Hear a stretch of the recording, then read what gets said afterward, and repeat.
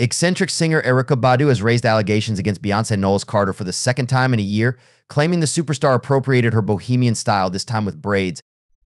Badu, known for her unique fashion sense, recently unveiled the cover for her upcoming album, Act 2 Cowboy Carter, featuring distinctive braids.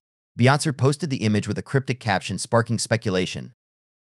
This isn't the first clash between the two artists. Last year, Badu accused Beyonce imitating her style during her Renaissance World Tour. Despite the accusations, Beyonce's publicist defended her, highlighting her diverse hairstyles over the years.